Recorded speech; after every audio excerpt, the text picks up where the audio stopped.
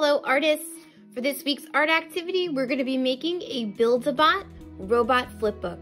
I'm going to show you how just folding a few pieces of paper and making a few simple cuts can turn your paper into a flipbook where we can design robots and we can flip through, mixing and matching all the bodies, the heads, and the legs.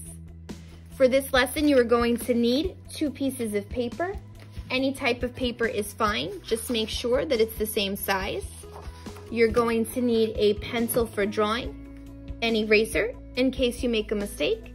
If you would like to outline your drawing before you begin, you will need a black marker and you need a pair of scissors for the few cuts that we need when making our flipbook.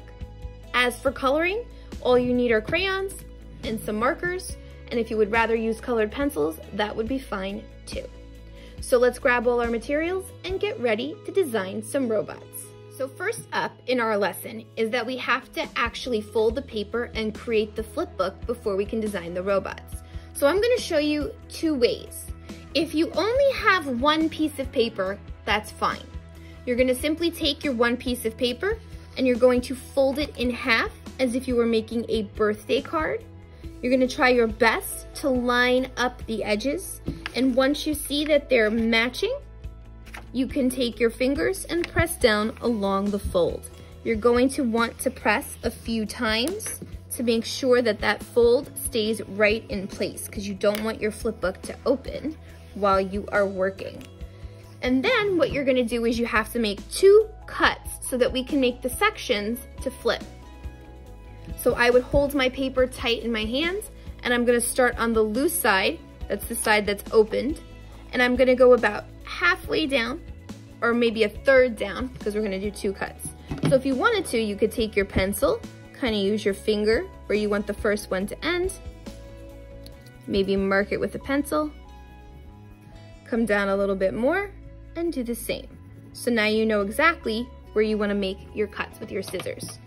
You're holding it tight on the fold, you're taking your scissors in your other hand, and you're gonna cut straight across. And you are gonna stop before you get to the fold because you do not want it to open and break. Go down to your second marking and do the exact same thing. Stop before you get to the fold.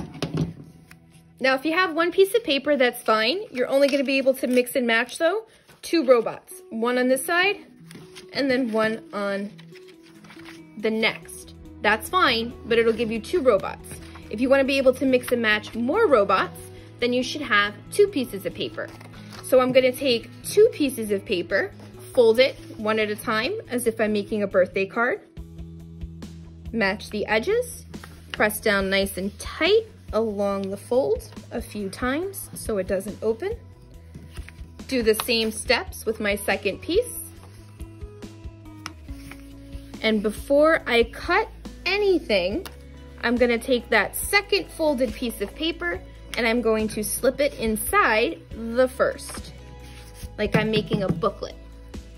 Keep them together while you're working. I'll make my mark for my first cut come down a little more for the second. Keep the papers together. And I'm gonna cut across and stop before I get to the fold. Same thing on the second marking. Cut across and stop before I get to the fold. Now, because I use two pieces of paper, this is gonna let me flip through and mix and match about four robots. One piece of paper gives you two, this is going to give you four. So the only difference is the amount of paper you use decides how many robots you're gonna have in your flipbook. Now you could leave it just the way it is, your flipbook. You don't have to staple it, you don't have to tape it, you don't have to glue it. You're just gonna have to be a little bit careful when you're working to make sure that it stays together. But if you would like to, you could just take a stapler, if you have one, and you could staple it right along the end as if you were stapling a book which I know some of you have made little booklets before, either for fun or in class, and that'll keep it together when you're working. Very easy. If you don't have a stapler, you could always grab a piece of tape. Simple scotch tape is all you need. And you could simply put some tape on the edge of the book. I'm gonna go right to the folds and I'm gonna make it hang off a little bit. And then I flip it over and fold the tape on the other side. That'll help bind it like a book has binding so that when I flip through, it won't fall apart. So those are two possibilities that you can do to make sure that your flip book stays together. Your choice, and if you don't have tape or a stapler, then you don't have to worry about it. You could always just leave it folded one inside the other when you were working. Now that you have your flip book made, you're going to get to the designing part of your robots. So you have three sections to your flip book. One, two, three. Top, middle, bottom. The top of your flip book is gonna be for the head of your robot. The middle section will be for the body and the arms. And the bottom section will be for the legs and the feet. And you get to decide what you want your robots to look like. Now on the PowerPoint attached to the project, there's lots of different examples of different shapes and body parts and arms and legs and buttons and gears that you can use to mix and match and design your robot. Of course, you can always come up with your own. You can always look up pictures for drawing robots online while you're working to help you out. What I like to do when I'm thinking of robots, because I like to come up with my own imaginary robots, I like to start with geometric shapes. Geometric shapes are the shapes we use all the time, not just in math, but in art as well when we are drawing and creating our projects. Geometric shapes are shapes that can be measured. They have rules on how to make them. For example, three sides to a triangle, four even sides to a square. So if I think about my geometric shapes, I could think about how I want to mix and match them and put them together to design a robot. So for example, maybe I decide that for my head of my robot, I wanna make a triangle. And my head belongs in the first box. Now I'm gonna give you a little tip. If your head doesn't go all the way down to the cut line, you might wanna make a neck. You should have all of your robot parts in each section, make it all the way down to the cut line. The reason why you want that to happen is because that way later on when you're done and you're flipping through and mixing, matching your robots in your book, it'll line up better if they all fill up the section and go all the way down from the top of the line to the bottom of the line. So that's a good thing to think about. If you fill up the whole section when you're working, they will mix and match better when you're using your flip book. Maybe you give your robot antennas. Maybe we use a rectangle for the mouth and a zigzag, it'll look like teeth. Half circles for eyes. You can get as creative as you want with your robot. Maybe I make a oval for the body. The second section is the body and the arms. So let's see. Circles.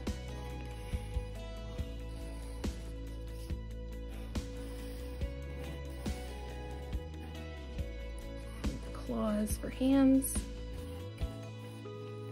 Robots have lots of gears and buttons.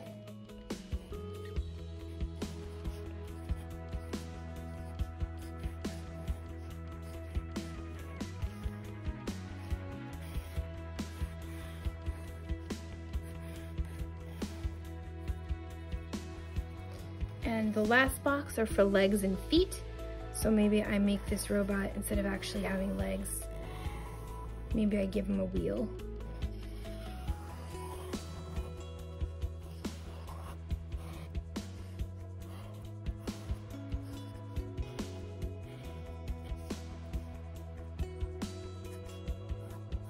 And there you go.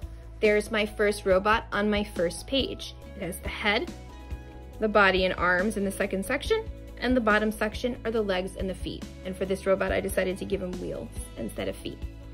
And once I have my first robot done, I would just flip the pages open. One,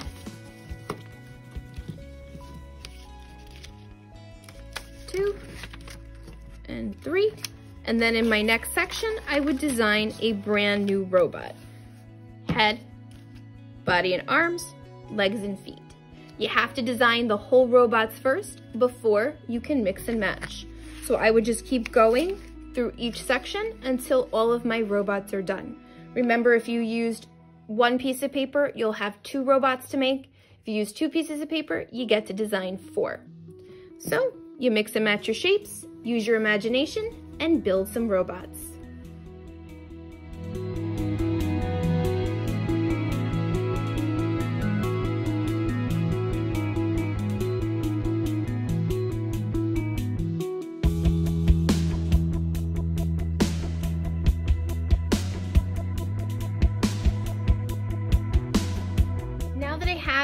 My robots designed and drawn in each part of my flipbook, I can flip through and I can start mixing and matching the all the different parts. And as I flip through, I can change the heads, I can change the bodies and the legs. Instead of just having two or four robots, when you mix and match, you can actually get a whole bunch just by flipping through your book. It's fun to see what different types of drawings it's always a little bit of a surprise what your robot's gonna look like when you flip through and see them with all of the different parts. When you're done with your drawing, if you would like to take a marker and trace what you drew, you can. If not, you can go right to coloring and all you need for coloring are some simple crayons, markers, or colored pencils. So in this example that's all done, I went through, I colored each of my robots one section at a time and then when I was done, I could mix and match and see the same robots with all of the different colors as I flipped through and all of the different parts of the body. If you don't want to use coloring, the other possibility is you could use shading to maybe make your robot look a little 3D. So if you would rather use pencil shading in your drawing, you would simply take the pencil that you were using with before, that you were drawing with, and you would go along the edge of your robot. And we practice this a little bit in other lessons. Our shadows are created by doing a dark, medium, and light value. So I would press down harder with my pencil along the edge. Remember, I just color back and forth and eyeshadow is only on one side of my picture, not the whole part of the robot. So once you decide where your side your shadows are gonna be on, you stay on that side and you would stay on that side for your entire flip book.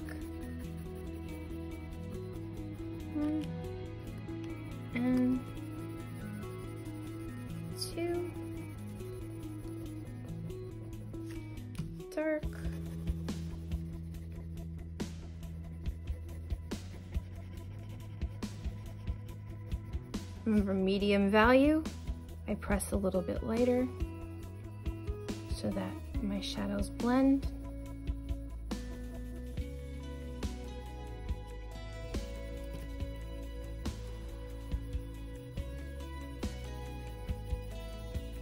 And once you finish with the medium,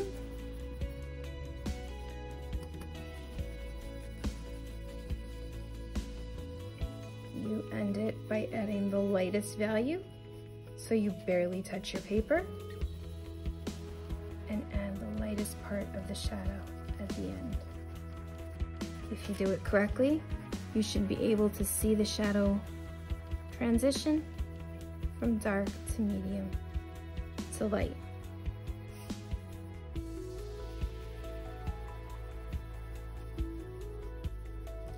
And I can even do it along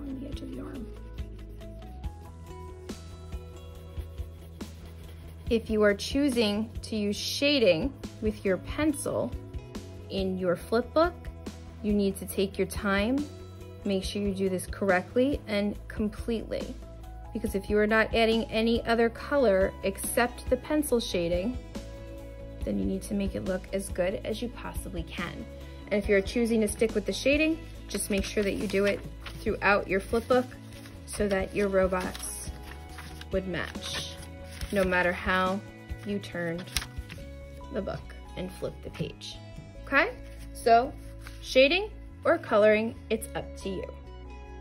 Take your time designing your robots. Remember, there's examples in the PowerPoint attached with your project. Take a look and use them. If you need to look up some ideas online while you're working, that's perfectly fine, but the best robots come from your own imagination, just starting with some simple geometric shapes. Good luck on your flipbooks. Can't wait to see what they look like when they are done.